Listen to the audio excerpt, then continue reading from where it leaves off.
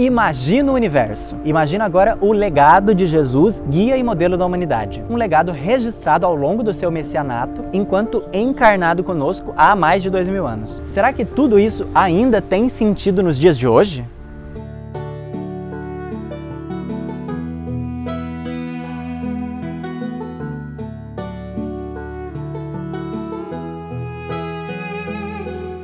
Talvez você já tenha escutado alguém falar: o Evangelho? Que livro mais ultrapassado? Talvez você já tenha pensado isso. Eu entendo o motivo de às vezes você se sentir dessa forma. Precisamos reconhecer que a divulgação da fanbase de Jesus não tem sido muito positiva. Mas eu te convido a olhar um pouquinho mais profundamente, se atendo ao que verdadeiramente importa, a essência daquela mensagem. Observe ainda os indícios. É uma mensagem que já está posta há mais de dois mil anos. Teria ela chegado aos dias atuais apenas por uma obra do acaso? E Jesus, um homem que não coube na história, tendo a dividido em antes e depois dele. E olha que não foi nem ele que pediu isso, hein? Foi o pessoal que fez depois, mas entendeu a relevância daquela pessoa que estava ali vivendo aquele momento. Será que ele é alguém para se considerar tão ultrapassado assim? Para você descartar? Falar, ah, isso aqui é irrelevante. O Espiritismo, graças ao trabalho realizado por Kardec, pode nos ajudar a entender o que está especialmente no Novo Testamento. Amar ao próximo como a si mesmo é o pilar de toda uma filosofia de vida pautada na igualdade, a semente de uma nova ordem social.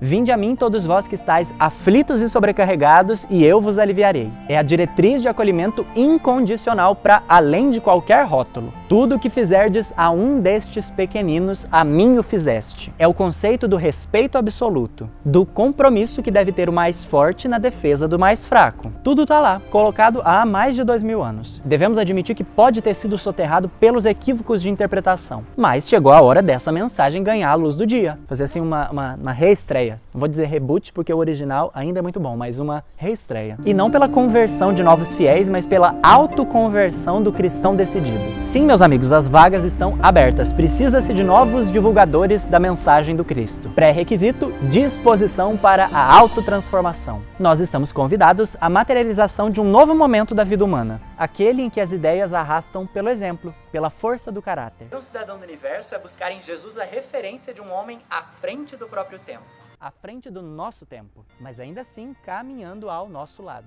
Dá para ver Jesus como essa personificação do progresso e do avanço? Ou você tem alguma dificuldade nessa interpretação? Conta pra gente sua experiência aqui nos comentários. Na próxima quarta tem vídeo novo aqui na FEB TV. Até lá!